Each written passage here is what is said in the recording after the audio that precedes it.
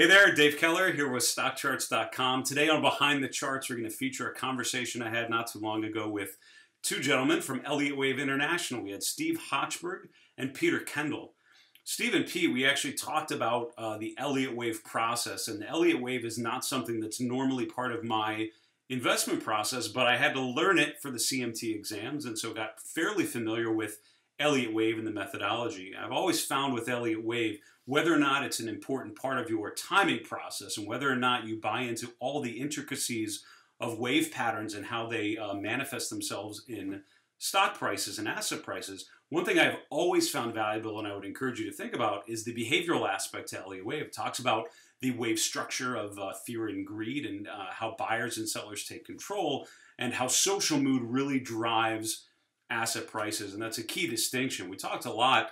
Uh, Peter, in particular, he really deals with the socioeconomic side of things. So, how the market doesn't drive the mood, the mood, the social mood, the underlying mood to society is what actually drives asset prices. And we didn't just stop there. We actually talked about pandemics. And this was early before the coronavirus really was evolving and expanding in the United States. It was more of an overseas issue at this point. We talked about the history of uh, pandemics, of, of diseases, and how they spread, and how they relate to social mood, and how that relates to asset prices. So it was an incredibly timely discussion that we had. Um, with Steve, it was a lot more about wave structure and how uh, Elliott Wave uh, can be applied to the overall market environment. So for those of you that are not familiar with Elliott Wave, I think you'll find this a very interesting uh, introduction to the discipline. And I think with my conversation, uh, my questions with Pete, it was more about the relationship between social mood and investing and, uh, and the markets themselves. So here is a fantastic conversation, I thought, with uh, Steve Hochberg and Peter Kendall from Elliott Wave International. Hey everyone, uh, Dave Keller from StockCharts.com here in Gainesville, Georgia at Elliott Wave International. Really excited to sit down with two prominent Elliottians, uh, Steve Hochberg and Pete Kendall, uh, Peter Kendall. Forgive me, Peter. Um, good to meet you guys. Good to be with you, um, and and super excited to sort of learn about your backgrounds and how you think about the markets. Um, if we could, could we just start, Steve, uh, with you, and just give a quick uh, rundown? How did you get to this point? Where did you Where did you uh, come from? Um, much like you, I started out uh, in music in college right. with a little bit of business on the side, mm-hmm. uh, and uh, decided I wasn't going to make much money uh, going into the music business. So uh, gravitated toward uh, finance and economics. Um, went to work for Merrill Lynch for uh, a number of years. Uh, I was a started out as a retail broker, and I was probably the worst retail broker there was in the world. I hated asking people for money, but but while I was there, and this was in the uh, very early 1980s, um, okay. I kept reading a guy named Robert Prechter who was putting out mm-hmm. something called the Elliott Wave Theorist, which really interested in me. I wound up getting my master's degree uh, in Boston, and uh, when I left that program, I came down, and uh, Bob was kind enough kind enough to offer me a job, and I've been working here at Elliott Wave ever since. Interesting. And yeah. Peter, could you give us your quick background? Yeah, um, similar time frame, early 1980s. I worked in Denver, Colorado, at a stock market publication was called the OTC Stock Journal, and um, that was an adventure in and of itself.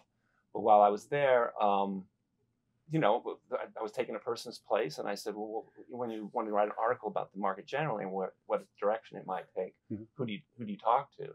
They, he gave they was a couple actually. Um, they gave me a, a, a, recommendation of Weinstein and Prechter, and okay. there was a third party who I can't remember. But so those were kind of locked in as people to, to uh, kind of examine what they were up to and how they came to their conclusions. Right. So that's how I met the Wave Principle and Bob Prechter.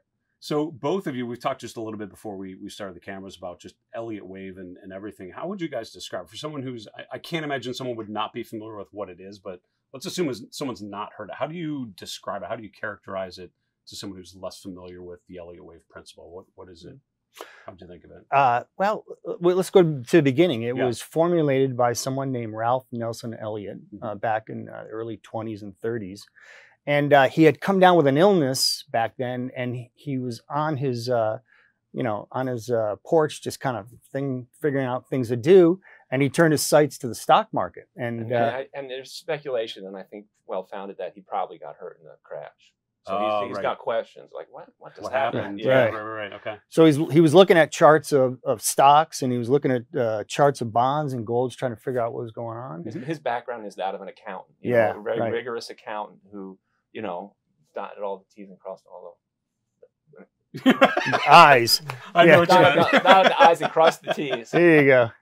So what he was doing is he's looking at these charts and and he was seeing the same patterns Okay. in stocks and in gold and in bonds. And he said, you know, wait a minute, I'm not I'm not just looking at a chart of stocks or gold or bonds because the Right. same news that affects gold or stocks may not affect bonds in the same way. But these same patterns kept redeveloping and he was watching them on the chart. And he said, you know what? What I've discovered is there's some basic element to the natural development of human psychology Hmm. that's consistent across markets that people in groups get more optimistic in a patterned way when the trend is going up Right. and they get more pessimistic in a patterned way when the trend is going down and then he meticulously categorized these patterns Right. into what he called waves um, and so it's kind of a three step forward two step back process and that's kind of how the elliott wave principle Yeah. was formulated And I think Right. he, he was a subscriber to Robert Rhea's Dow theory letter. Yeah. Right, So, okay, sure. so he had an, uh, the idea of a- an impulse wave that, that works in the direction of the main trend. Th- That possibly came from Dow theory, but it certainly uh, is a, a big part of the wave principle. You know, when, Right. when you're when you're in a bull market or a bear market, you can have what they call the main trend, and it will move in five waves. Right. So I'm curious with both of you, what drew you to the Elliott Wave methodology, right? Um, because you both mentioned mentors, you both mentioned uh, you know early influences that sort of uh, introduced Elliott Wave to you. But what drew you to the methodology? Because there's a behavioral component, there's a psychological component, there's a sociological component, there's an analytical, you know, quantitative component. What about it resonated with both of you guys? Well, let me start with uh, I, I remember the first time that I was uh, exposed to it. Mhm. I was working at Merrill Lynch, and uh, I can't remember. What, I mean, it might have been GE. They were coming out with earnings, Yeah. and our analyst at the time said, "Well, well GE is going to earn X number of dollars a share," and Mm. and uh, I said, "Okay." And and earnings came out, and they hit it to the penny. It was exactly what the analyst suggested it would be, and the stock just cratered. It tanked. And I'm like, I was like, and I was trying to figure this out. I'm saying they just hit their earnings. The analysts predicted what their earnings would be. Why wouldn't the stock go up? right. And so that was about the time that I was reading Bob, and Mm. uh, Bob had been doing some uh, forecasting in terms of the market and, and individual issues, and um, you know, following along, it just made perfect sense to me. It clicked with me Yeah. That markets were patterned, and I could understand the psychology behind it. And that's Mhm. really what drew me to it first. And Right. I remember reading his book, and and it just made sense to me. Everything Yeah. was like, okay, I understand how the world works now Yep. by reading the principle, wave principle. So Interesting. What about you, Peter? I would say that I, I- now I'm re- rethinking it a little bit because I didn't think of that before. But um, they have this thing they call market focus, and Uh-huh. and it's uh, basically I just read that in the headline the other day. Market focus shifts to whatever they want it to shift to. That that the news cycle and the market cycle don't match up, and and so that was that was very influential for me as well. Hmm. And there's just, you know countless examples of that every day. Yeah. Um, so there was that. Uh, There was also a textbook. You know, it wasn't a Mm. black box, so you could just oh, I get the book, I can operate this thing. right. I can see how how it's supposed to operate, and there the, the rules and guidelines were there, Yeah. and they're you know pretty specific. You know, you, there's things that you can't do based on the wave principle. So That's right. it, it, it structures the world in a very interesting way. So, Steve, you mentioned, um, you know, GE, I think, reporting earnings and, Right. and what the stock did relative to that. We're, you know, in the middle of earnings season right now. And one of the uh, maybe critiques or challenges to, you know, broader technical analysis is how helpful can it be during earnings season, right? Because earnings come out and that does it. What do you, how do you approach that? How would you answer that? What, what's the benefit or what's the purpose of using charts at, during earnings season on a stock that's reporting earnings? Is it worth, is it worth doing or? Oh, you abs- in fact, I would take the opposite tack, Okay. and I would say ignore the earnings and just look at the chart. Uh, because how many times we've we seen earnings come out and the, and you think they're great earnings and the stock goes down, or you think they're horrible earnings and all of a sudden Yeah. the stock goes up. Um, and I think all good forecasting, and that's what we're trying to do in this business, is kind of look around the next corner, Yeah. requires technical analysis. It Mm. requires it because you you if you use fundamental analysis, you have to predict your indicators. For example, mm. let's believe that you think that the Fed is going to lower interest rates and that's going to be good for the stock market. Well, number one, you have to predict the Fed what they're going to do. Are they going to lower interest rates? Yes or no? And number two, you have to predict what a particular market might do in response to that. So there's a whole chain of causality that can break down. To us, it's much easier just saying the trend in stocks is up and that trend is going to continue until it until it changes. And right. so we look at each component individually. Yep yep yep. Um, okay. And you're going to get positive effects based on the upward trend. It's not the other way around. The, right. the negative facts the negative things happen and the market goes down. Yeah. It's it's it's pulling the cart. Sure. not the market is. That's right uh, no, yeah, go ahead. Well, I was going to say that there was a secondary thing that happened mm-hmm. for me, and that was in 1985. Bob pub- published a report. It was August of 1985. It was called Stock Market and uh, the popular culture in the stock market. Okay. And he basically had been kind of had been building up. It went back to Elliott. Elliott said, "What's implied here? I'm I'm calling this a natural law. Therefore, it's it's it's it's got a depth of involvement in society, yeah. and it's going to affect electricity electricity usage. And Elliott cited a few things, but he didn't go real far down that road. Now Bob was kind of exploding the concept, and um, that was the beginning. That was the first step, but it drew me in because it said this is a technical tool that has application in in in, in warfare, in politics, and in, and why. Um, it, it, could answer a lot of questions that right. a, a, a, moving average couldn't. So that's why I was drawn to it further. Now, down through the years, of course, it, it's it's become an academic area. It's called socionomics, and yeah. and uh, as a firm, we pursue that, and it takes us down some very interesting roads. You know, yeah. so when I read Bob's, I, am assuming his first book on on socionomics, on that sort of term, I was introduced to that. I remember reading it, and what struck me about it was that the the idea of causality, right? So a lot of people think the mm-hmm. market's doing well, so people are excited, and and and I'm simplifying. I'm sure you could probably correct me, but he was sort of spinning, you know, reversing that, basically saying the yeah. social mood yes. is what drives stock exactly. prices, right? How I mean, how could you describe socionomics a little further? Because I the the concept of it makes it really resonated to me in terms of thinking about you know social mood as a as a quantitative thing yeah, it's really just an an academic uh, approach to what uh, he witnessed or what we've witnessed in the in the stock market over the course of the years. Socionomics is the study of uh, uh social psychology mm-hmm. as it marches through time in bull and bear phases. Mm-hmm. Um, the, uh, the the coronavirus is is a good example. Right now, it's a big news story. It's cited as the cause for weakness in the market but we would say, no, that's not what's happening. It's not causing the market to do anything. The, the social mood in China turned in 2007. It's been down. Mm. It's down 50%.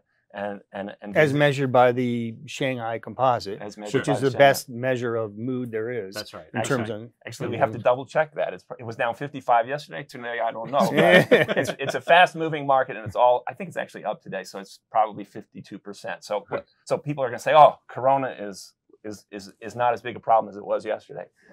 We say no, it's a, it's a long-standing problem. Disease is a result of a bear market. It happens. We, we've uh, documented that extensively in, in, in, in, full issues of what we call the Socionomist. It's a monthly publication that came out in 2009, near the low, talking about um, the, the diseases, the SARS that was created in 2002, and then there were other diseases in 2008 and 9 when there was a bear market, and uh, as a result of a bear market, social mood. Interesting. Interesting. So yeah, yeah. W- what it really boils down to is, is psychology, is mass yeah. psychology, and That's how right. how groups of people behave when they get together. We all have individual free will. We all can understand what's right and wrong, but for some reason, when we get in a group and a crowd, it takes on a dynamic of its own, and that's really what we're studying here: is that group dynamic and how sure. it moves in a patterned way from pessimism to optimism and some of the ancillary effects that are, that that that come from that. For example, is as his mood is is is turning more positive, the the mm. posit, po- positivity is dominant over say negative mood.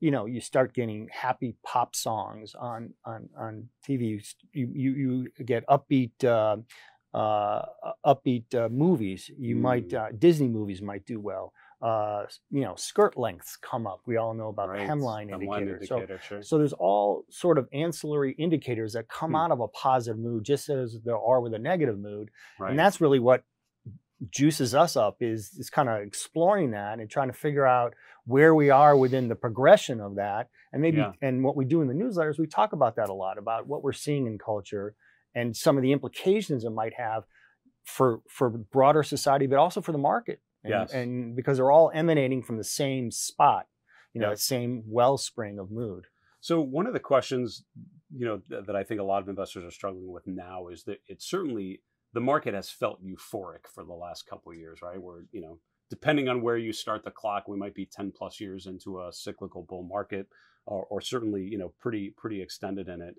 And so I, I, think a lot of people are questioning, you know, you know, markets tend to end in euphoria, bull market. So how do you determine how euphoric can you get, right? How is there a way that you would categorize where we're at right now uh, from a psychological, from a sociological perspective? Are you seeing signs that tell you, yes, euphoria has happened, or is it still no slow and steady. We've got plenty of upside from a you know from that perspective. Well, there's there's two ways to do it. Okay. And and from my perspective, what I work at is the actual wave structure because okay. there's rules and guidelines within the Elliott wave principle that mm-hmm. deal with where you are within the progression of that specific structure. And when that pattern is over, it's over. You okay. know, the, the trend reverses. So, it, uh, in our estimation, what we're dealing with right now is is a, what's called a fifth wave rally. Hmm. Uh, rallies and declines, depending upon where we are, uh, move in in a pattern of five waves. Hmm. So you have an, so for example, in a bull market, you have an initial rally from a bottom, which is wave one, and then you'll have a pullback, which is wave two. But that pullback doesn't go to a new low; it holds above the previous low. Right. And then you'll have a third wave, which is the third wave, which is the longest mm-hmm. and strongest extended wave. And then you'll have a fourth wave correction, maybe a sideways move, and then a final fifth wave rally. Mm-hmm. So, in our estimation, we're in a fifth wave of this bull market uh, that we can trace back. And that's really where we look for the signs of euphoria or mm-hmm. bullishness or optimism. And we can measure that in a lot of different ways through basic indicators like put call ratios or sure. sentiment surveys. Mm-hmm. Uh, and there's other cultural aspects too that, that we deal with when we, uh, when we look at that. No. Right. Um, let's see. Culturally, uh, what happens at the end of a fifth wave? Um, but yeah. what, what happens is basically what's been going on for 20 years. I mean, it started in it started in 2000, yeah. and um, you had a euphoria there. You had another somewhat more muted euphoria in 2007, and we and we have one now. Right. So we've this is uh, what we would call a fifth wave of very high degree. So what that means is there's waves within waves, and uh, this one actually, this bull market actually dates back to the late 1700s. Hmm. So this fifth wave is is is one that um, nobody will ever relive because yeah. it will you know it, it won't happen again for a long time. But right. um, so what you have is kind of uh, peaks on your peaks right now. Uh, 2000, we, will show a chart in the latest issue that shows the percentage of companies not earning money that are in the in the, uh, the that are listed on stock exchange, and it's That's amazingly it pops really hard in 2000 or 1999, uh-huh. and it really doesn't go down. I mean, in the in the bear market phases, it it goes to 20 percent, okay, and now it's it, and recently it hit a record of 29. That was last year, right. but um, 29 percent of firms that are listed have not made money for three years, and this is a remarkable achievement if you think about it. And it's, we were fortunate to, to, to have lived through this period. yeah. So is that higher than it was in the late 90s, early 2000s? Yeah, yeah. No yeah. kidding. Right. Yeah. right. So wow. the fact that people want to buy these companies, yeah. Now I'm not consistently, a, right. as far as I can it, tell. It, it, shows you how important psychology is. Right. In, That's in, right. in an earlier time, which we think matters, we think that earlier time is is the baseline, and right. that's what we return to, not to the not to 2000 at this point. We sure at least on that chart. Right, right, right. right. So that that's another great way of measuring euphoria. I mean, the fact right. that there's a lot of people that want to buy companies that don't make any money tells you that we're in this kind of latter stage, this fifth wave of the advance right. that we've been tracking. So if we could pivot a little bit, so um, if you think of the fixed income markets, you have this rare, um, maybe not so rare situation, but the situation where stocks have felt very elevated, bonds continue to break to new highs. So how how what would be your perspective on stocks versus bonds or if people are getting nervous about the extended nature of stocks are bonds setting up in an attractive way of some sort or how would you think about that asset allocation exercise between stocks and bonds at this point? One of the because uh, I get this question a lot, and yeah. one of the key points that that I'd like to make is that uh, there's no consistent correlation that holds over time between any two asset classes. Mm. So a lot of people will say, you know, well, if stocks are going to go down, maybe I should buy bonds or gold because they'll go up. Safe haven. Yeah, they're safe haven. Yep. But but if you simply look at a chart of the two, there are periods yeah. when they do trend together, and there's periods when they trend apart, uh, and there's periods where there's literally no correlation between yeah. the two at all. So it's very difficult trying to forecast one with the other, trying to say mm. you should go into bonds as, as a safety measure. Now, bonds have been in a bull market for what, 33 years, 34 yeah. years? And we think that bull market is, is coming to an end. Um, and one of the periods that we've studied as a kind of a corollary to the current period is the 1930s, because I think okay. the next event that's going to occur is deflation, not inflation. Mm. I mean, we've been trying to create inflation for how many years with the Fed, but yeah. there's so much debt in society right now that uh, that in a credit-based monetary system like we have, a reduction in that credit is deflation. So I mm. think we might get inflation or hyperinflation down the road, but first we're going to go through a deflationary period. Okay. So what we did was we looked at the last great deflationary period in the United States, was which was the 30s and, and 40s, and we noticed something about bonds, and that is bond prices went down and yields went up mm-hmm. um, and which is kind of counterintuitive. But right. what happened was people, even on the highest grade, you, know, you got an initial spike up in interest rates and a decline in bond prices. Uh, and people got a little bit scared uh, of a return of their money, not so much a return on their money. Mm-hmm. And I think a similar situation is going to happen now with all the debt that we have in society, with interest rates literally at zero. I think at some point, psychology is going to morph to where people are going to get concerned about getting return of their money on time. Mm. Um, and so I could see a uh, at least a brief spike up in interest rates uh, while stocks go down, which would be a little bit counterintuitive. Right. So um, I, I, don't. I mean, if you're going to look at the bond market, you probably should look at short-term bonds, sure, okay. where you can get your money out pretty quickly. Right.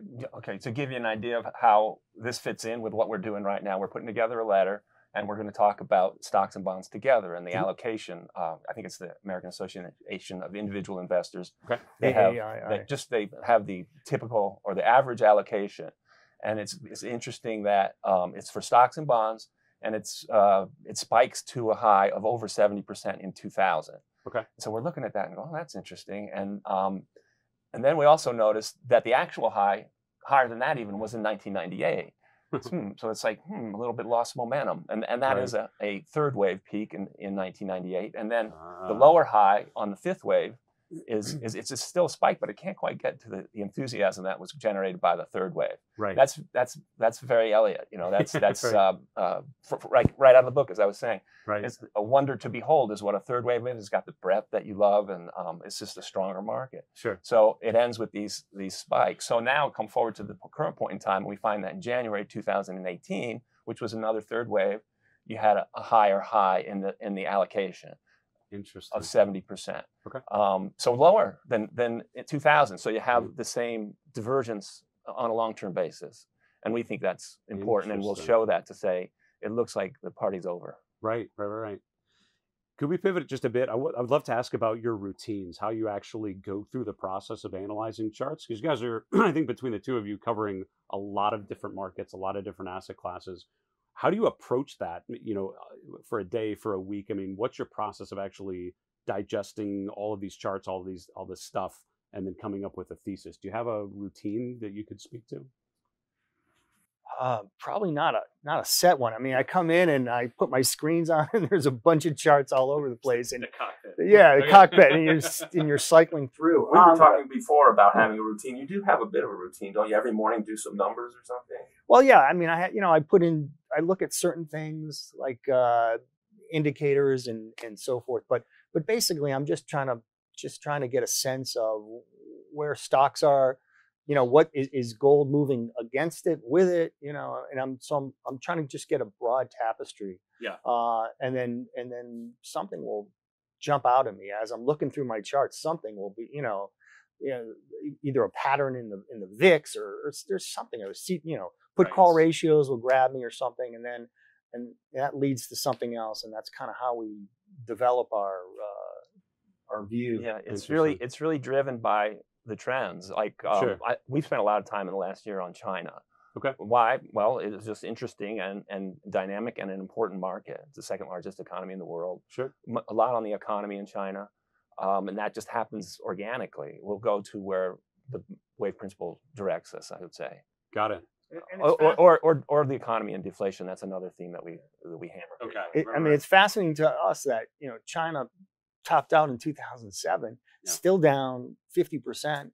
Sure. You know, and, and the U.S. is is is like this. You know, this is going. So there's this, eh, you know, this this second largest economy in the in the world relative to the U.S. and there's this huge dichotomy going on, and that interests a lot. I mean, why is there's this this huge dichotomy when yeah.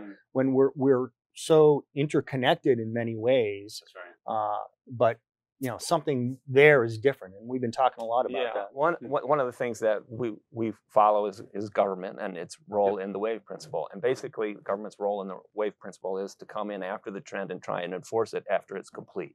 That's that's what the government does.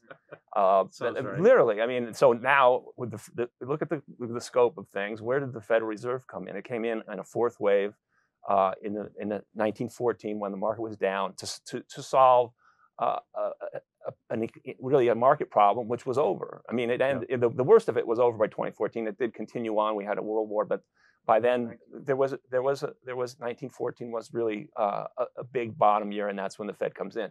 So mm. now this fast forward to the end of a bull market, and governments around the world are trying ways to keep the bull market alive mm. after it's it's um, it's basically complete in some places and completing in others. Right.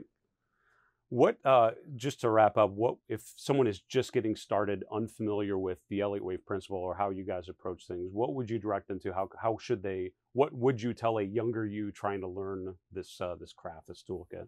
Well, first thing is come to our website, which okay. is www.elliottwave.com. Two L's, two T's, one word, Elliott Wave because there's a ton of free material, including uh, how to use the wave principle. What is the wave principle? How to use it?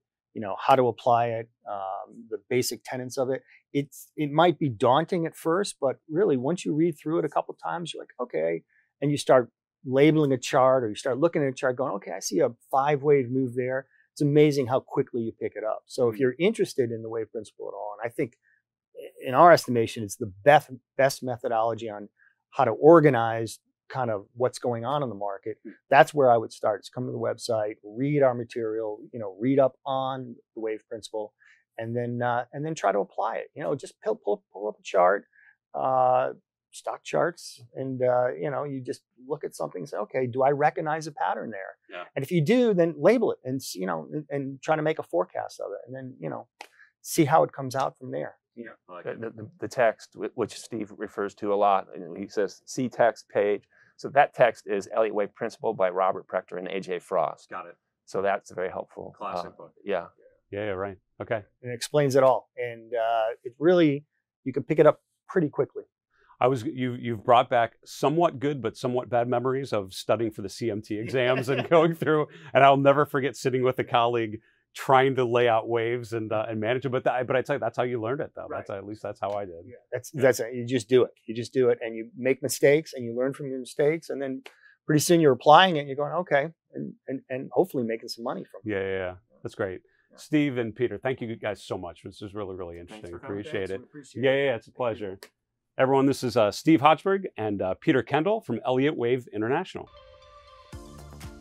Hey guys, Grayson Rose here with StockCharts.com. Thank you so much for watching. I hope you enjoyed this video. Remember, if you did, give us a like down below, leave us a comment. We'd love to hear from you. And most importantly, don't forget to subscribe to our YouTube channel for daily content from an incredible collection of technical analysts and financial minds.